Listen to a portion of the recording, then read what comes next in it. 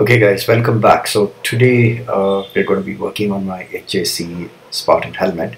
Um, so I have a Sena on this helmet, the SMH5 installed and the mic has stopped working.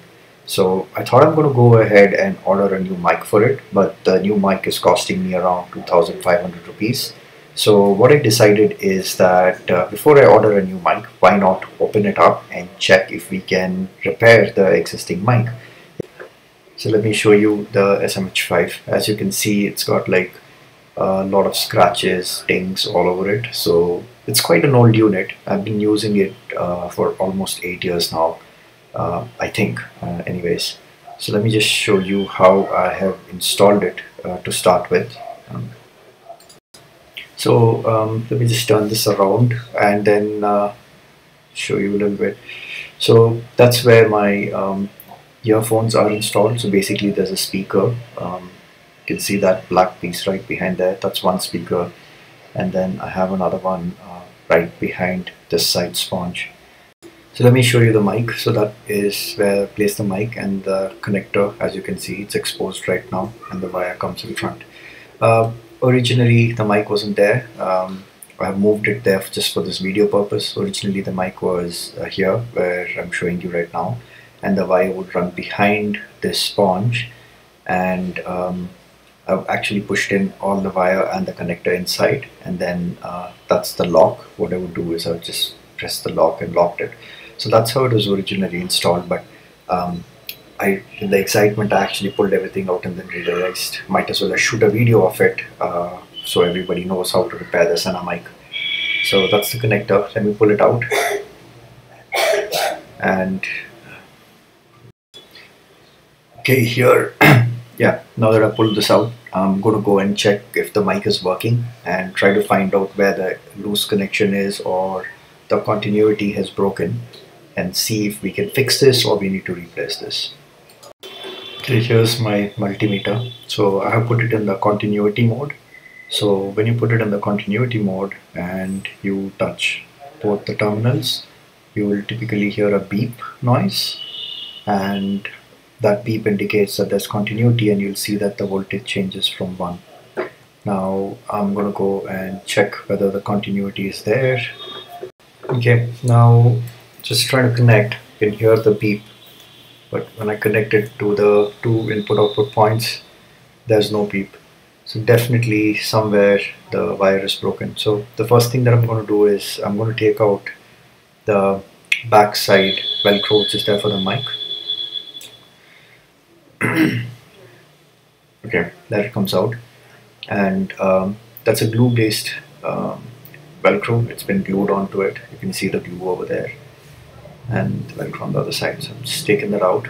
And so it's got a really tiny microphone and those are the two wires that connect to it. And just by looking at it um, you know that's the positive that's the negative and I can't see the wire on the other side. So now let's see if it's um, you know continuous power is coming from that point to the point which is there at the speaker right? Okay. Yep. Can hear the beep? That's working. So let's see if the other wire is also connected. It's kind of a struggle to keep the camera on the side and work on this yeah there we go. Yep. The positive wire is connected and it's working. So I think the issue is right now with the negative wire. So let me try to get you guys a proper close-up. Not sure if it's coming clear. So you can see this positive wire. It's shouldered in and it's all neat and clean. And the negative wire it's actually cut.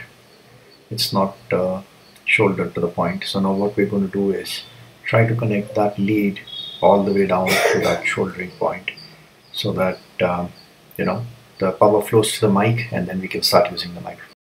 So again here is a much clearer shot of the, the missing wire. So that's the strand there. I need to connect both of them. So what I've done is I've taken a small strand of wire and what we're going to be doing is that we would use that to create a connectivity between the negative wire and the shouldering point that you're looking at. But first we need to remove the sponge. I've already removed it because I needed to use both my hands to pull it apart. Be careful so you don't tear it. So you see the tiny uh, piece inside which has got a gold thing. So that's the actual mic. Everything else, the plastic placeholder to hold it. Now what we're going to do is that we're going to pull the mic out. Uh, now that I've pulled out the mic, this is how it will look for you. So you see the black wire right below the white one? So that's the negative. And you can see that it's disconnected. There's a strand right below. So you'll have to solder the old mic out and then pull the wire in. So once you pull the wire in prep it uh, so that you can resolder it. So here I have spliced the wire. So I have my negative and positive. They're all prepped and ready to be soldered onto the mic applying some flux on the two wires so that when I solder them they have a good bond. So I've soldered the mic to the wires and as you can see this is how it looks after I've done. Um, it's a good bond that's there so let's go and see if it works but so I'm going to connect it back and then try to use some basic voice commands to be sure that it's working before I fix everything back. Okay, we are all fixed and it's working. Yeah, it's working. You heard me right. So what I've done is I've fixed the mic onto the chin segment. You can see there's a velcro and the mic fits onto the velcro. There's a wire. I'm running the wire right down there and it then is connected and concealed very well as you can see how the mic is. Guys, thank you for watching my blog. If you're not subscribed yet, bang, click on the subscribe button, it's right there. If you want to watch the last two videos that I've uploaded, I put them up here and here.